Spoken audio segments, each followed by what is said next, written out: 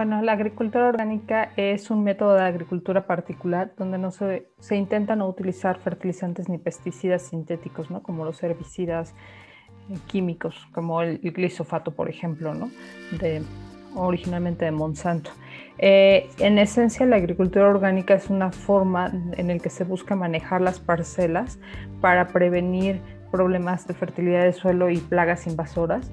Y entonces, en este sentido, se trabaja con la agricultura orgánica de una manera preventoria, es decir, siempre a la vista de no de impactar positivamente el cultivo de las plantas, el cultivo de los productos eh, y para eso tener la tierra trabajada de manera adecuada y también tener el control de las plagas de manera adecuada, de manera preventiva.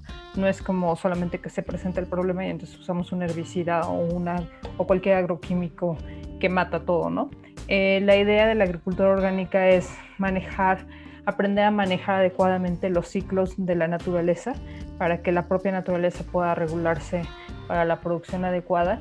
Y bueno, y esencialmente ese es el enfoque, ¿no? Mantener un equilibrio en todos los elementos eh, del medio ambiente de, de una finca o de una parcela, ¿no? Por ejemplo, el suelo, los microbios, las plantas, los sistemas animales, etcétera. Pensar en como un sistema holístico que responda a las necesidades de la producción y sobre todo obviamente se busca que tampoco se reduzca la productividad. La productividad siempre ha sido un punto fundamental para la agricultura.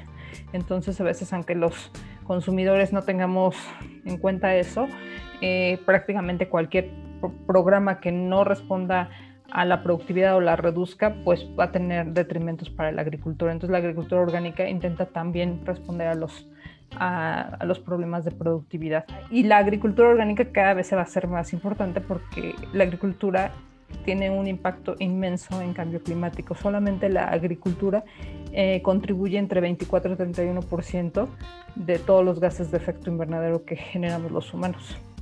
Entonces es un impacto muy grande y también te puedo dar otras cifras de cómo se, de cómo, de los impactos específicos, ¿no? Por ejemplo, eh, la agricultura de manera directa genera 17% de los gases de efecto invernadero, es decir, directamente trabajando la tierra. De manera indirecta, entre 7 y 14% de los gases de efecto invernadero. Esto es deforestación para introducir ganado o para ampliar zonas de cultivo, porque hay que reconocer que la agricultura, un sector fundamental, es el ganado. Y de hecho, el ganado, la producción de ganado y todos los productos de origen animal es lo que más contribuye a la emisión de gases de efecto invernadero por parte de la agricultura. Este, entonces, bueno, tiene un impacto altísimo. Podríamos hacer un, una cifra entre 26%, 30% de las emisiones globales de gases de efecto invernadero por parte de la agricultura. 50% de toda la tierra habitable eh, es usada para la agricultura, sin contar desiertos y tundra. 70% de toda el agua dulce que extraemos es usada para la agricultura. imagínate, eso es un un porcentaje altísimo. No es el agua que tomamos los humanos, sino es el sino el 70% se va para las prácticas agrícolas. El etiquetado de las cosas es también complejo y también hay muchas relaciones de poder en los etiquetados. Por ejemplo, el café es un caso ejemplar. El café orgánico de comercio justo generalmente, bueno, no generalmente, siempre se produce en los países del sur, pero los principales consumidores son los países del norte, sí, Estados Unidos, Europa, etcétera, ¿no?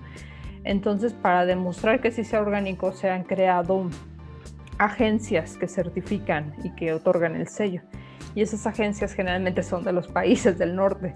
Entonces vienen al sur, hacen las evaluaciones, son costosísimas para, los, para las cooperativas, para los agricultores, realmente costosas. O sea, a veces son imposibles de pagar para ellos, sobre todo si, no se, si la cosecha no sale bien.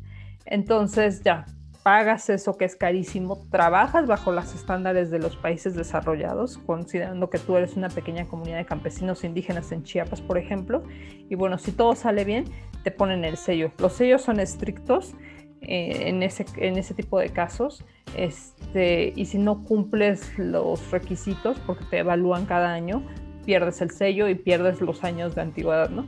Entonces no es fácil en ese sentido.